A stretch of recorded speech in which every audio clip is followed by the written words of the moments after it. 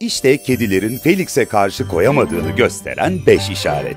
Sürtünme, gözlerini dikme, keyifle çiğneme, yalanma ve sonunda boş tabak. Felix karşı konulmaz lezzet.